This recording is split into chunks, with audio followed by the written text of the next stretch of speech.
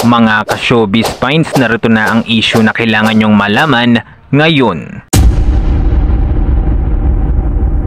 Ex-boyfriend ni Bea Alonso na si Dominic Roque nagsalita na tungkol sa di umanong issue na nanliligaw daw di umano ang aktor kay Catherine.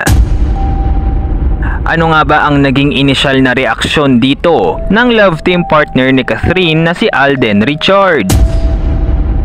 Alamin na nga natin ang buong ulat ng balita kaya naman huwag na natin patagalin pa tara't pag-usapan natin yan dito lang sa Showbiz Finds. Pero bago tayo magpatuloy, huwag kalilimutang mag-subscribe sa ating channel. Matunog na pinag-uusapan ngayon sa mundo ng social media ang kontrobersyal na pagbulgar ni OG Diaz na di umano'y si Dominic Roque ay nanliligaw daw di umano kay Catherine Bernardo. Naging mainit at talaga nga naman pinag-usapan ito sa mundo ng social media dahil marami ang nagulat at talagang namangha sa revelasyon na ito ni OG Diaz. Alam naman natin na si Catherine Bernardo ay single ngayon at pinapriority nga ang kanyang karir sa kanyang mga proyekto at mga movie. At tunay ngang busy busy si Catherine Bernardo sa mga commitments na meron siya mula ngayon.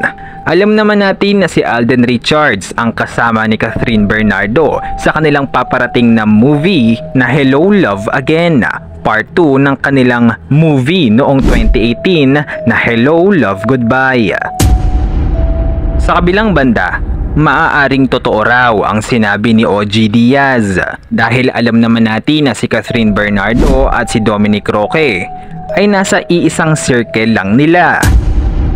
Dito nga ay nagkaroon ng pagkakataon si Catherine Bernardo na makilala ng maigi si Dominic Roque. Hinihintay pa rin nga ng mga netizens kung ano nga ba ang magiging reaksyon dito ng kanyang co-star na si Alden Richard. Hindi rin kasi ine-expect ng mga netizens ang revelasyon na ito ni OG Diaz. Ngunit kung may katotohanan man, inaasahan nga ng mga netizens na sana ay hindi mag-split up ang relasyon at love team ni Alden Richards at ni Catherine Bernardo.